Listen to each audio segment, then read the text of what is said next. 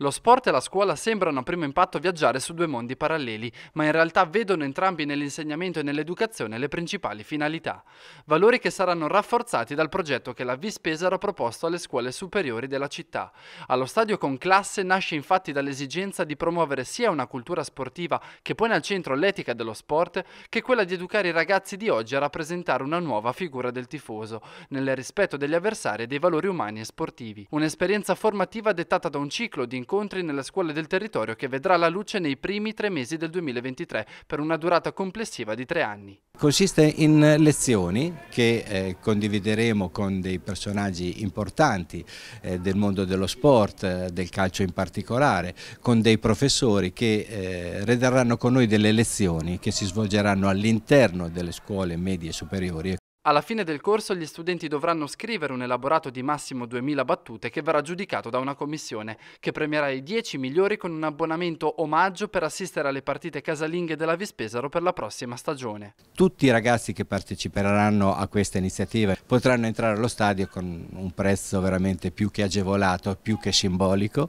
e la laurea virtuale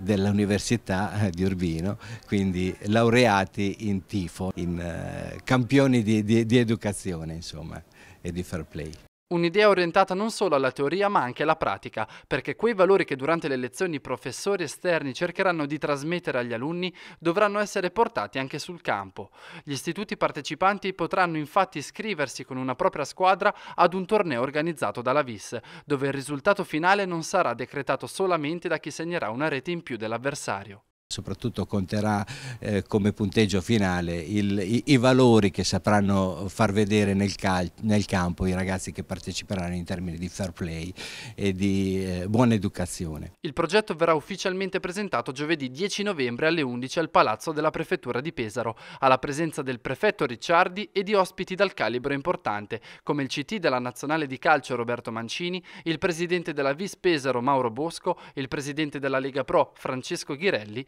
e la storica penna della Gazzetta dello Sport Luigi Garlando.